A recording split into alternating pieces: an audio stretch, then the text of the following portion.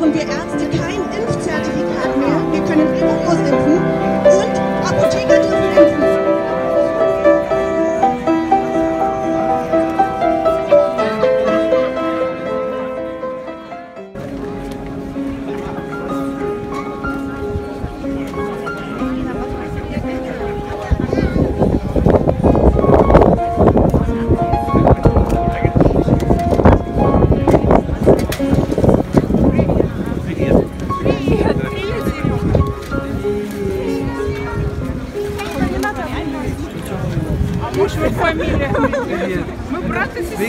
学给我转，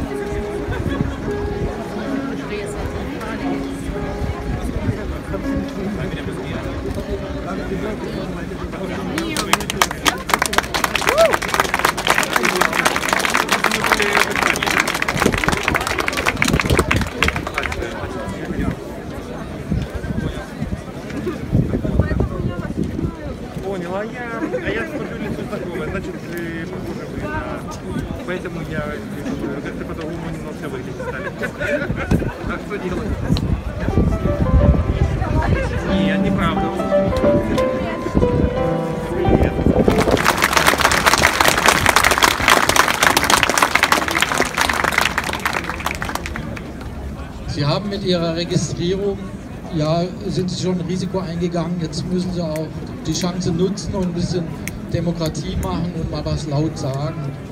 Also von mir aus kann es auch ein Witz sein, weil ich habe echt schon lange keinen guten Witz mehr gehört in diesen Zeiten.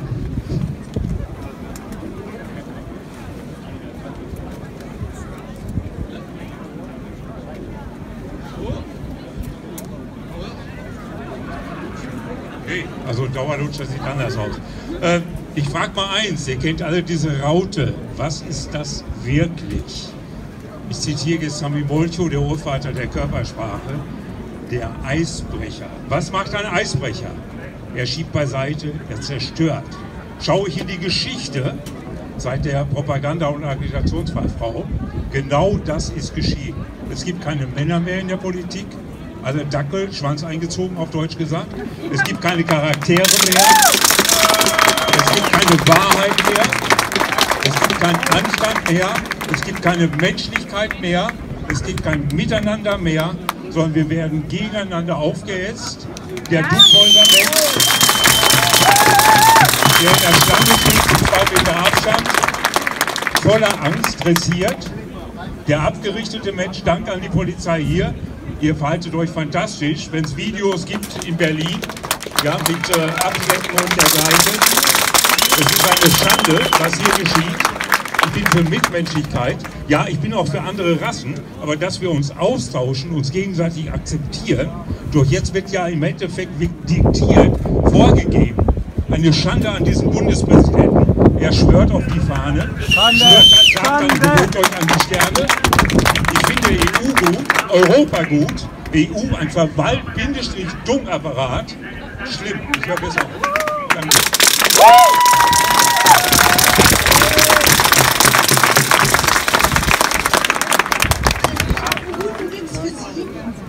Wer mich kennt, ich bin Hautärzte und Hautärzte beschäftigen sich mit, also mit Impfungen mit Allergologie.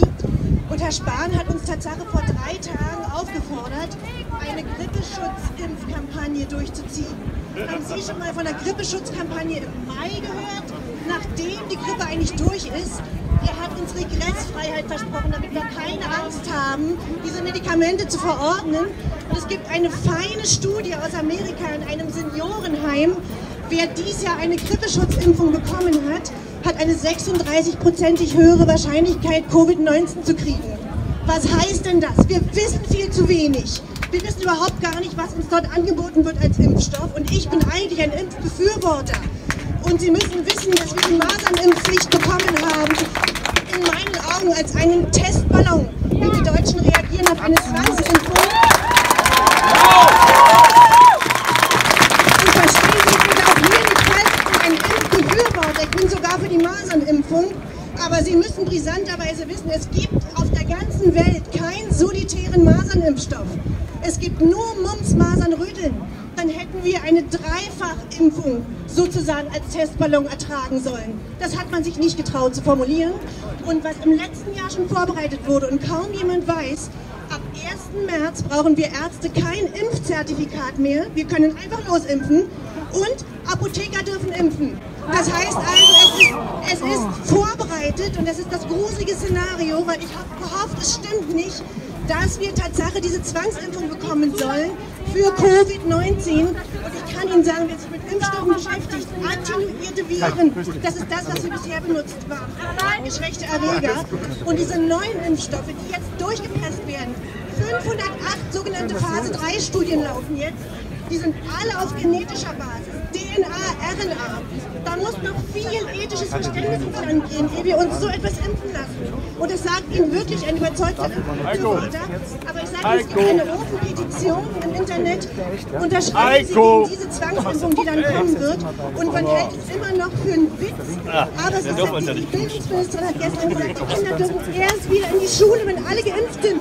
Stellen Sie sich das mal vor.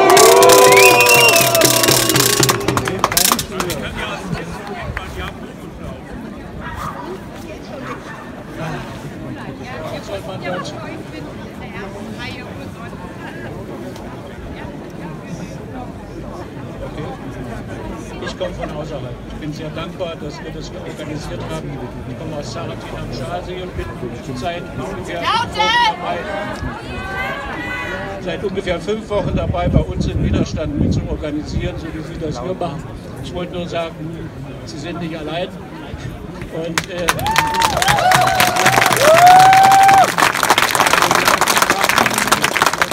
eigentlich wollte ich nur auf das, was Sie eben gesagt haben, reagieren und sagen, ja, was sollen wir denn jetzt nach dem eben Erfahrenen, die wir schon gewusst haben, dazu sagen? Ich kann nur eins sagen.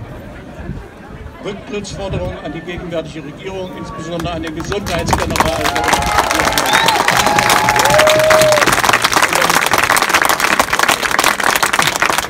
Es kann nicht sein, dass wir also nicht Forderungen stellen. Wir müssen Forderungen stellen und nicht nur irgendwie reagieren. Wir müssen klare Forderungen stellen. Das ist meine Überzeugung. Und das landesweit passiert nichts. Das ist gut. Aber ich erzähle jetzt noch einen Witz. Schwesig ist zurückgetreten.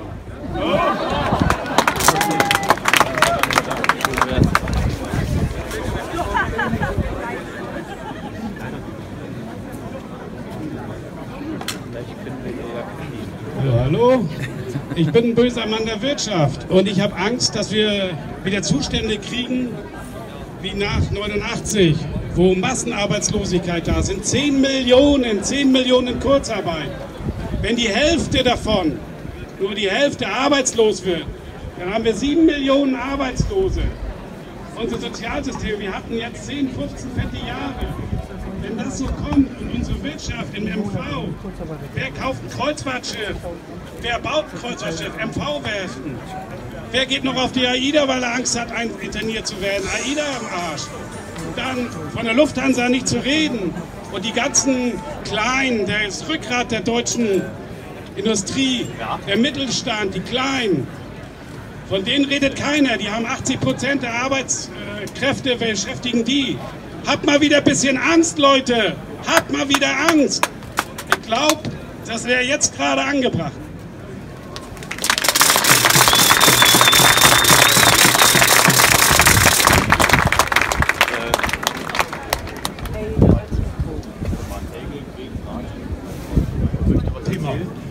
Leute, 1989 war ich und habe auf dem Marstall gesprochen. Da wollte mich die Stasi noch einsperren. Hier am Marstall habe ich gesagt, wir sind das Volk, wir wollen Demokratie. Fast schäme ich mich heute dafür, dass das so gekommen ist, dass wo wir alle für auf die Straße gegangen sind, dass das wieder abgeschafft wird. Wehrt euch, Leute. Wehrt euch. Wir sind das Volk.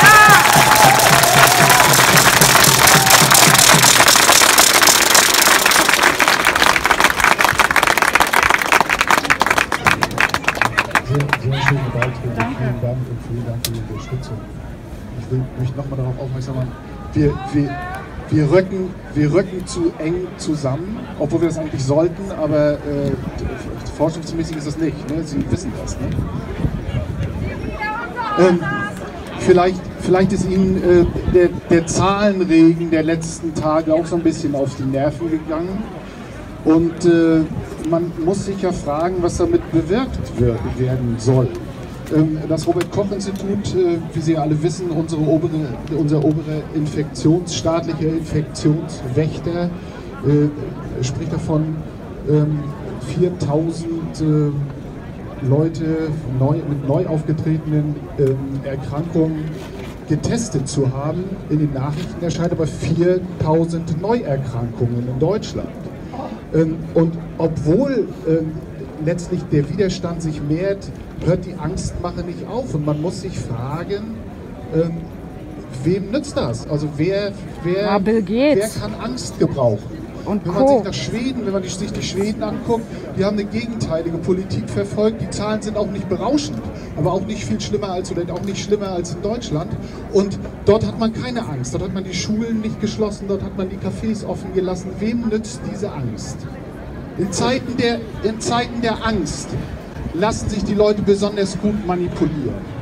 Und wenn es dann nicht mehr mit Angst weitergeht oder die Mittel ausgehen, dann werden eben Masken verordnet, die auch wieder so eine Art Angstszenario verbreiten.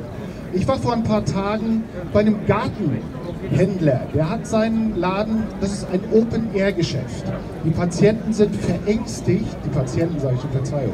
Die Leute, die Leute sind, die Leute sind, nee, das ist mir nicht übel. Die, Leu, die, die Leute sind verängstigt, Einkaufswagen vor sich herschieben, mit Masken im Freien rumgelaufen. Es gibt Menschen, die sitzen alleine im Auto mit Masken und Gummihandschuhen. Tja, Wer, manchen kann man nicht. wer, wer profitiert von diesem Ganzen? Wir haben inzwischen erhebliche Grundrechtseinschränkungen. Nicht zuletzt ähm, hat die, das ist vielleicht ein bisschen untergegangen, aber die Telekom hat vor ein paar Wochen dem Robert-Koch-Institut und, und aufgefordert, die Nutzerdaten von über 40 Millionen Usern, ihre Handydaten zur Verfügung gestellt. Wir müssen aufpassen, wir müssen gewaltig aufpassen, was hier passiert und auch diese Gesundheits-App, wir haben noch ein bisschen was vorbereitet, aber das ist, glaube ich, leider alle. Es gibt da inzwischen kritische Meinung. Die Gesundheits-App ist nichts weiter als eine, eine, eine Tracing-App, um Leute in ihren Bewegungsprofilen zu finden. Also, äh, ich kann mich dem, was hier bisher besprochen ist, nur anschließen. Ich bin nicht dafür, Steffen, weiter Angst zu verbreiten, aber wir müssen uns wehren. Wir müssen verdammt nochmal uns wehren. Und